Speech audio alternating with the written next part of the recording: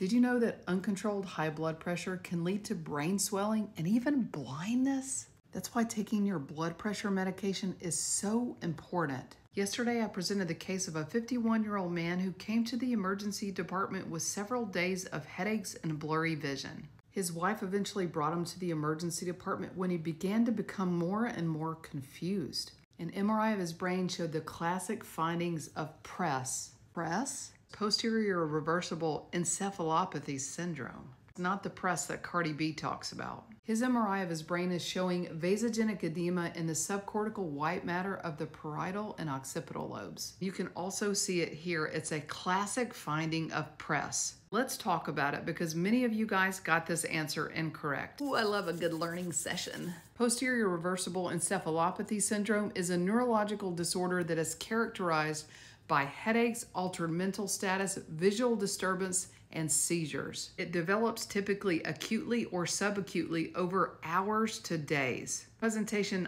often happens with acute uncontrolled high blood pressure. Like in our patient, he stopped taking his blood pressure medications and on presentation his blood pressure was 210 over 96. There's two words in PRES that are sometimes a little tricky. First word is posterior because it often occurs in the parietal and occipital lobes, which are the posterior part of our brain that controls vision.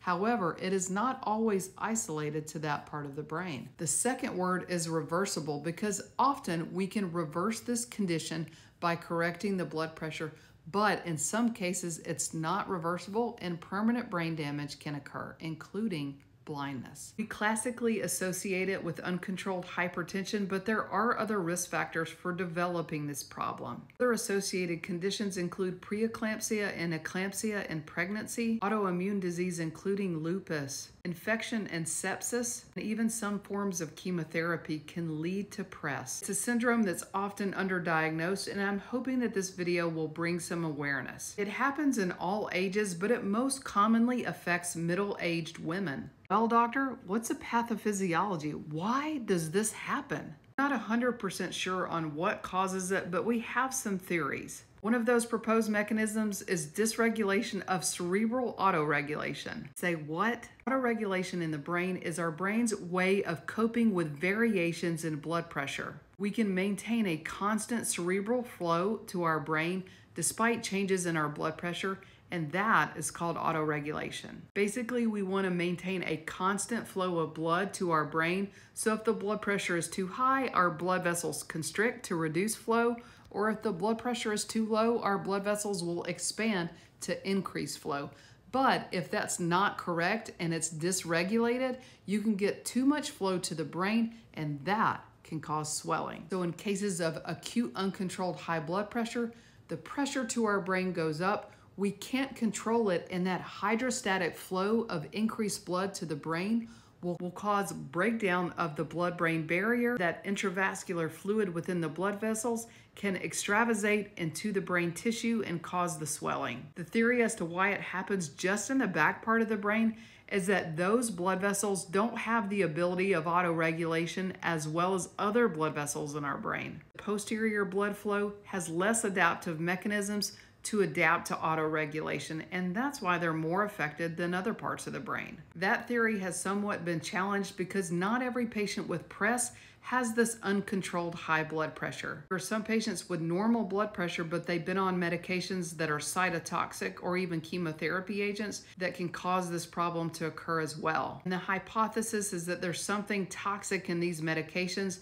that can affect the blood brain barrier of those same vessels. Layman's terms, something happens to those blood vessels in the back part of the brain to cause too much fluid to leak out of the blood vessels and cause the brain to swell. Remember, our occipital lobe is what controls our vision, and that's why a lot of patients manifest with visual disturbances. Headaches happen because the brain is swelling, as well as potentially seizures and even coma. To diagnose it, imaging is the gold standard. An MRI without contrast can diagnose this problem, and treatment is correcting the underlying problem, and it almost always is completely reversible. Correcting the blood pressure with IV medications is extremely important, but you don't want to lower the blood pressure all too fast because you can deplete blood flow to the brain, and that can cause a stroke. So it's got to be done very carefully. We often also treat these patients with anti epileptic medications to treat and prevent seizures. In cases where the cause is eclampsia or preeclampsia, blood pressure control and anti-epileptics are extremely important as well as urgent delivery of the baby, usually by C-section. On the cases where a medication is causing it, obviously we want to remove that medication. Autoimmune cases like lupus, treatment with steroids, as well as medications to treat that disease are very important.